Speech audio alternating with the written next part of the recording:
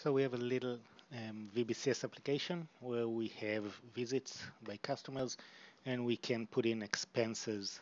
Um, for example, if we need a hotel staying here for 200 bucks on this date, we can put this information in. Now, what happens if we want to actually notify every time that a new expense is put in, um, let's say our expense department or someone over there. So to do that, we can use a new um, trigger on our business object. So let's go into our business objects. We have the visits and the expenses. And under um, process, uh, sorry, under business rules, we're going to add a new trigger. Okay, and we'll call this one send email. Okay, and we're going to do it on an insert event. Okay, and we can also do it conditionally. So let's do it only if there's a big expense. So only if the cost is greater than, let's say, 100 bucks, we want to do something. We want to send a message. So uh, let's say notify Shay, This is the op operation we want to do. And you'll notice that we have a new operation here called send an email notification. Okay? And when you drag it over, it's going to ask you for a template. And initially you don't have any template, so you can create one okay. And you can save it just for this section or as a generic template. We're going to use it just for this section. The subject is um, big expense report. Okay. And we can actually add a parameter here. So like this. Okay. Oh let's just make it a little clearer for and then we'll have one parameter which would be the name of the customer and then the text of the message, so something like, please note,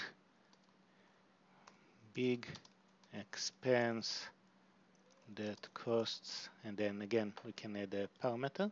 That will be our second parameter. Uh, reported on and a third parameter. So this is our template, three parameters. Okay, we can see them over here and we can fill values for them. So we're going to take uh, the first one, which is the name of the customer. So um, under the expense, we have the name. So we just shuttle it to the right. And by the way, you can do it full expressions here. Okay. Um, for example, here we have the cost. So let's again pick up the cost field. Oops, sorry. Over here. Um, by the way, we can do cost, for example, plus 10. Okay, just to show you that you can do expressions. And then uh, the date. Okay, so this is this one. So we have the three parameters. Okay, and then who do you send it to? And again, this can come out from some field or some expression. I'm going to send it to myself, by the way. So going to use my email. And who is it coming from? So this is coming from uh, HR department at oracle.com, for example. So this is it. We just added a trigger that sends an email um, if we have a big expense. Okay, let's click apply, save, and go back to our page designer. And let's run this. Okay, so the first thing we're going to add is a small expense. So maybe we gave them a small gift, um, 20 bucks on this date. So this shouldn't actually send an email. And then we'll do another expense, a bigger one. Maybe we give them a big gift uh, for 400 bucks on this date,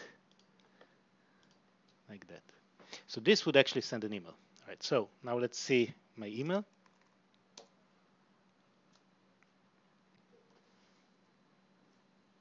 And we can see we got a new big expense, okay?